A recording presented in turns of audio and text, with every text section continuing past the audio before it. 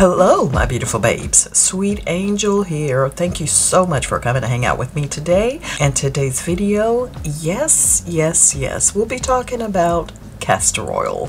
Castor oil has so many uses, and we're going to explore each one that I use castor oil for today. If you would, if you're new to the channel, welcome. Please don't be a stranger. Go ahead, subscribe, hit the post notification bell so you'll be in the know each and every time I upload. If you're one of my subscribers already, welcome back. Y'all know how we do it. We're going to dig deep into castor oil today, and yes, you may find out something new. So stick and stay to the end.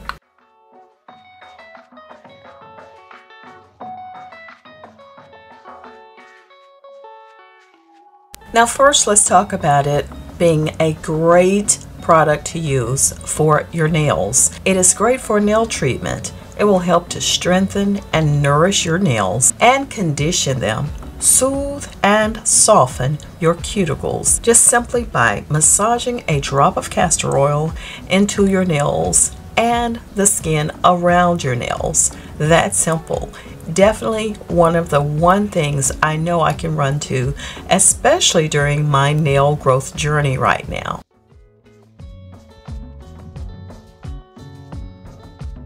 Now the other thing is it's wonderful for your eyelashes and eyebrows. To help grow beautiful full lashes and brows, just simply apply a little castor oil to your lashes and brows with a clean mascara wand or a cotton round before you go to bed. This will help promote growth and strengthen them, reducing loss and making them appear thicker and fuller. I know there was a time when my lashes were so sparse or my brows were also that you couldn't even tell I had any at all. Even though mine by genetics, not as thick as some, I have some that I can definitely rock by themselves without adding any type of enhancements, which I'm happy about that. But castor oil is what helped me with that.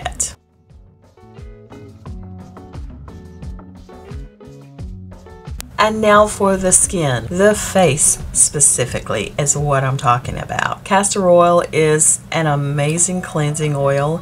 It literally will help melt away dirt, grime, and makeup. Y'all know I am one to wear waterproof mascara and eyeliner. It is great for that. Just massage a small amount of the oil to your skin, then remove it with a washcloth soaked in warm water and remove the oil. It will leave behind a light layer of oil to moisturize your skin and to protect your skin from water loss. It is amazing for beautiful glowing skin. Now, of course, with anything, always do a patch test.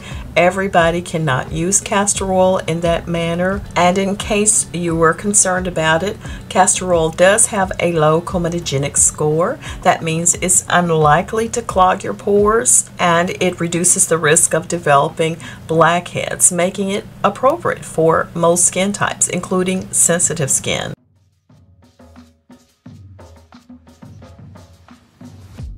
And when it comes to the hair, I know it has not been that long ago when y'all saw me with my hair buzzed down and I cut designs in it and so on. But I do believe it's thanks to castor oil that I can restore my hair and help it to get back with some length. Now, I am not one to rock a long style at all. Never have for many years. It's probably been almost 20 years since I let my hair grow in full length. But I like a short style.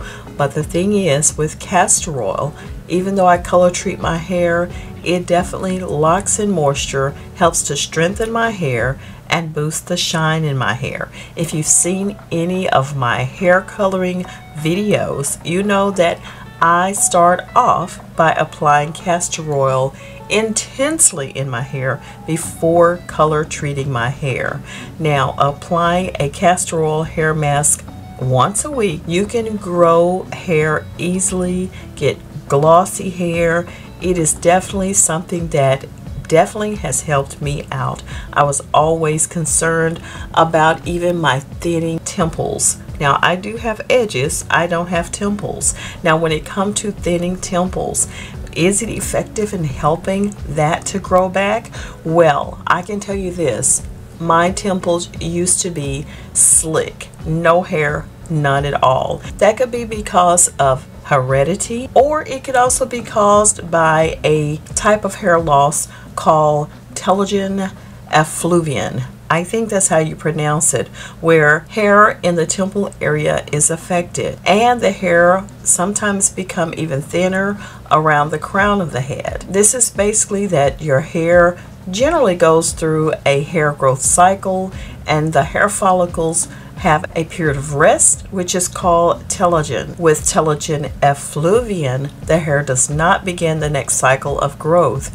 But I personally do believe because of castor oil, that's the truth. I restored my temples to where you could actually see them in person. It may not be as easily to be seen on camera, but I do have hair in those areas where there was no hair. So the hair follicles do generate hair, but it is a little bit thinner in that area. But I do believe it's because of castor oil. Another thing that castor oil is good for is taming frizzy and flyaway hair by smoothing on a tiny amount of this oil on the ends of your hair and you can tame the frizz and the flyaways. Castor oil is incredibly thick it's incredibly rich, almost like honey. It's made up of monosaturated omega-9 fatty acid called ricinoleic acid, which makes up around 90% of this oil. It's this unique composition that actually makes castor oil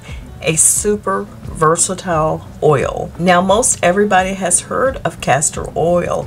It is an exceptionally popular ingredient in many skincare products. And like many plant oils, castor oil is super moisturizing and nourishing. It is useful, very useful for preventing water loss from the skin and the hair, which causes dryness and flakiness. It creates a barrier on the skin, locking in moisture. Castor oil is known big time to be beneficial for the skin and softening and smoothing out your complexion. And again, recently or within the last few years, it has gained superior popularity for being included in hair care products as it does promote vitality of beautiful, stronger hair. Now, the other question has always been Is there a difference between Jamaican black castor oil and castor oil? Well, certainly you know the most obvious difference between the two oils is the color. Traditional castor oil is usually a yellow color, the lighter it is, the more pure. Jamaican black castor oil, on the other hand, is a darker color due to the burnt ashes of the castor bean. And I wanted to clarify something else as well is the question as to which one is better Jamaican black castor oil or regular castor oil and basically Jamaican black castor oil does not work any better than regular castor oil in helping with hair growth. The ash and the resulting alkalinity does help with oil absorption to the hair shaft.